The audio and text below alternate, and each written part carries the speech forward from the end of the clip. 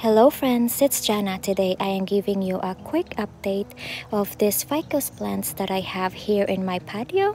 It rained today and my plants just decided to attract me with their beautiful lush look after the rain. I don't know why, but after a rainy day and the sun starts to shine up again it just gives me that vibrant color of the leaves of the plant. I don't know if i'm the only one seeing that. Let me know if you also notice that.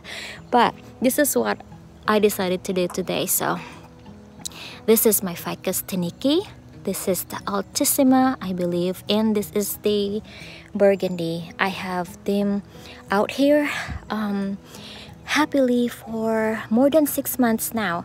And I also decided to um, throw some succulents down here.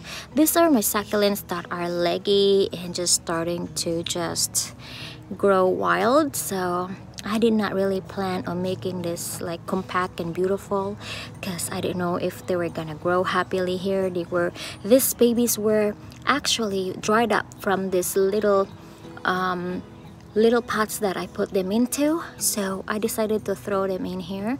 That way I don't have to keep on watering those little pots that I have. And they decided to grow and maintain its pink color. These are I believe this a type of sedum I forgot what it's called.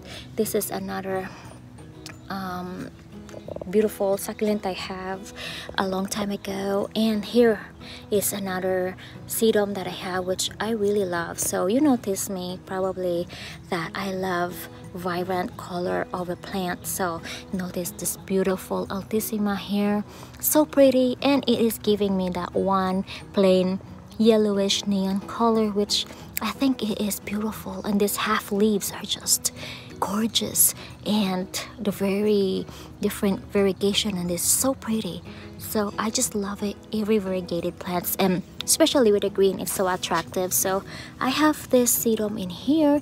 They were actually getting so brown and dying on its pot so I decided maybe I'll just put them in here because they were root bound on the little nursery pot that I had from a long time ago throw them in here decided to grow happy with the rain and actually this is in the full sun but the shade of this ficus tree is giving them that shade and covers them from the intense heat and decided to not burn also here is the agavoides that I have a long time ago and this is another this is another beautiful sedum so friends you notice again my dirty yard. Every time it rains the water just overflows everywhere and it's not even draining.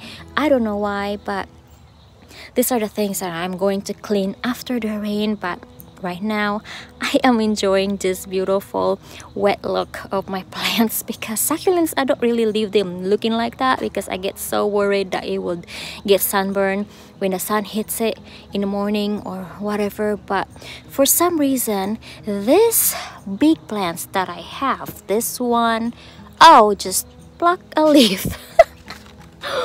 And it's floating. Okay friends well I just had to pick up that that little bit of a touch just blocks. That's why you could see the stem here is so bald because every time my dog walks around here and catches the lizard it knocks down leaves. So I just throw back leaves here. So just like this one I also damage leaves and pluck them myself. So I throw them back and that's one of this right here actually see it just rooted back again after I don't know when they started to get some roots and have a baby so I just put them back up there. They'll be happy. It will get rooted. And these are my little this one little ones right here. This baby pink. I forgot the name so let me know if you know this babies but these stay their color because of the sun here.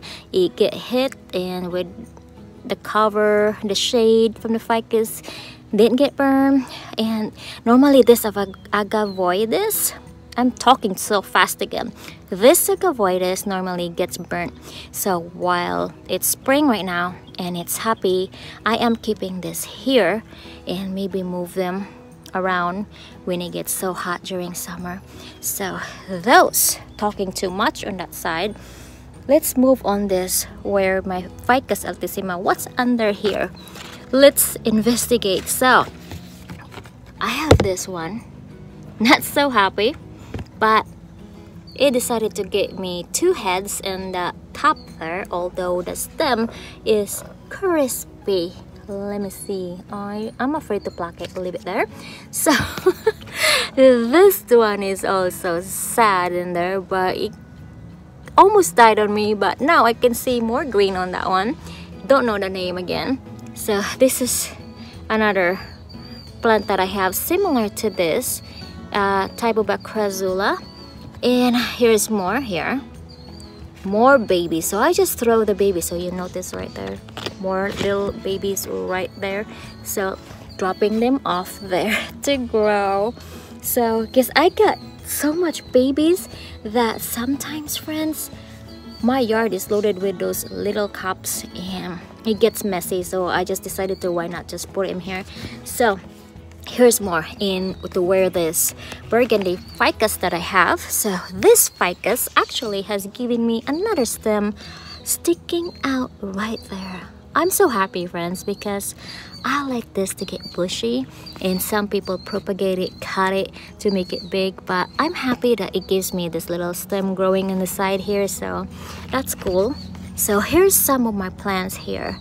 This is my Perle von Nurnberg that is a baby and here is this um, jelly bean plant and this another one. Look at this one. This one is rotten but it is still alive and crawling.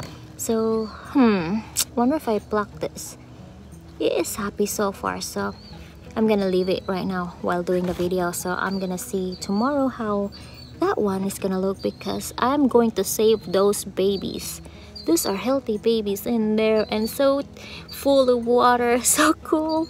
So Hmm, I can see some ants crawling there too. Let's go around here. Oh, I'm seeing more. Oh, so happy babies. Look at those. So happy. And uh, remember this, friends? I made some on a shell a long time ago. And I actually have them growing. My bird is barking like a dog. So if you hear him talk or something, that's my bird. So... that's Louis. Um, here. This one here. So this one here. It is growing out of the shell and it's happy in there. I threw them in there a while back. So this one is also happy. I believe this is a moon glow. And here is here here is a weed. Um here's some more baby morning beauty I believe. So this one is another it's i think this one is a moon glow another moon glow. So happy. Oh another sedum right there elephant bush. This one is a sad one so leaving it there maybe it'll recover. So you see how crispy and wrinkly that is leading water. But with the rain maybe i'll be happy two days or three days from now. That's a happy well these are the three pots that is right here in my garden. Happy so far and growing so leaving them alone. Well i'm gonna show you this one last pot right here. This is my um, ponytail palm that my mother-in-law gave me. I thought it was going to die but it just needs some cleanup. It started to get green again. It went like almost yellow to me. During winter i leave them out in the yard and just covered this during um, frost but it went happy again so it's happy but there's ants crawling it needs some treatment. You see that?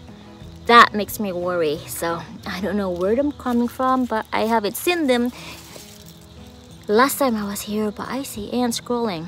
Hmm maybe the rain drowned them. Tell me about my my plants friends. Too many. Collected too many and there's a weed so let's pull that. I have a lot to do today but let me just show you this topsy-turvy in a ball. This topsy-turvy on a ball is actually looking so happy. I have this planted a while back and I'm, let me just pull this weed. Is growing down here. It's growing fast. Look at this um topsy-turvy it looks like there's two heads in there. What is that?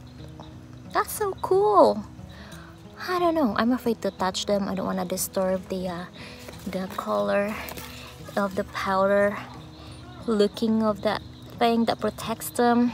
So here is this beautiful babies that it's coming out from this mama plant. So much friends. This topsy-turvy is just amazing with babies. It needs cleanup though. And also I have not treated them with neem oil which is I am going to do that this week. Another succulent that I have in this bowl which is sick look at that. That needed some help. Look at oh my. That is a bunch of that is a bunch of bad stuff right there. Look at the i'm gonna pull this away because that would just kill my plant and that oh gross. That neat. That bug right there is just growing but this is so beautiful. I don't want it to get affected. And this is the um this is the Echeveria Tippy, this is the Echeveria pink ruffles, and this is another ruffles.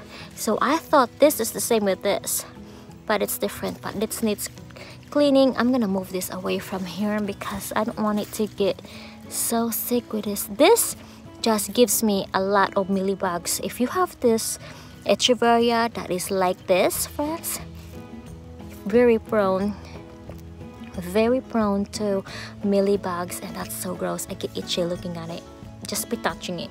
I need to get my gloves and work on that. I need to pull that out today because mm, i was gonna not treat it today.